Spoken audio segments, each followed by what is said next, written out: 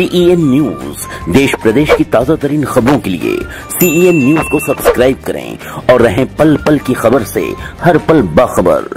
उत्तर प्रदेश के जनपद मेरठ में आज श्रम कल्याण परिषद के अध्यक्ष राज्य मंत्री पंडित सुनील भराला ने मेरठ के सर्किट हाउस में जन सुनवाई करते हुए श्रमिकों व सैकड़ों आम जन लोगों की समस्या का तत्काल निस्तारण किया।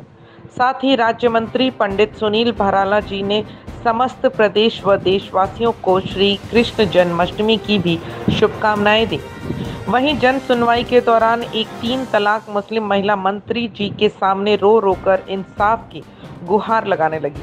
महिला मेरठ के थाना लिसाड़ी गेट अंतर्गत इलाके की रहने वाली है, जिसने जन सुनवाई के दौरान बताया कि उसके पति ने मुंबई से टेलीफोन के ज़रिए तलाक तलाक तलाक दे दिया, जिसमें पुलिस भी कोई ठोस कार्रवाई नहीं की।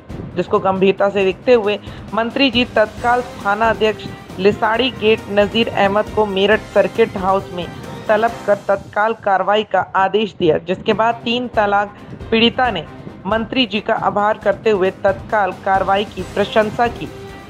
श्री भराला में बताया कि छुट्टी के दिन भी जनता की एवं श्रमिकों की समस्याओं को ध्यान में रखते हुए आज प्रातः 10 बजे से ही जनपद मेरठ और आसपास जिलों के लोगों का आने का सिलसिला जारी रहा। अपराह्न तीन बजे तक सभी की समस्याओं का निराकरण किया गया। वहीं समस्याओं से ग्रसित व्यक्तियों ने सरकार की पूरी प्रशंसा की है।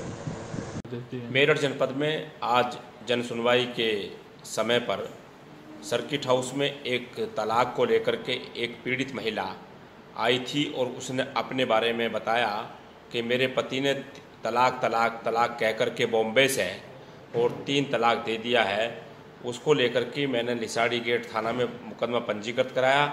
हमारा थाने अध्यक्ष ने उस मुकदमे को पंजीकृत किया। पंजीकृत करने के उपरांत तत्काल थाना अध्यक्ष को सर्किट हाउस में बुलाया गया। उन्होंने त्वरित कार्रवाई करने का आज आश्वासन दिया कि मैं इस पर 48 घंटे के बाद इस पर जो महिला का जो उत्पीड़न है और जो रिपोर्ट लिखी गई है, उस पर कार्रवाई करूँगा। मैंने भारत के प्रधानमंत्री को बधाई दी है। भारत के प्रधानमंत्री आदरणीय नरेंद्र मोदी जी ने और भारत की गृह मंत्री आदरणीय अमित शाह जी ने देश में इतना बड़ा काम किया है कि नारी सशक्तिकरण और नारी के बारे में जो नारी देवी के रूप में हम देखते हैं, नारी को करोड़ों नारियों को इस तीन तलाक का बिल ला करके जो संशोधन करके जो कानून बनाया गया, इसका लाभ मिल रहा है।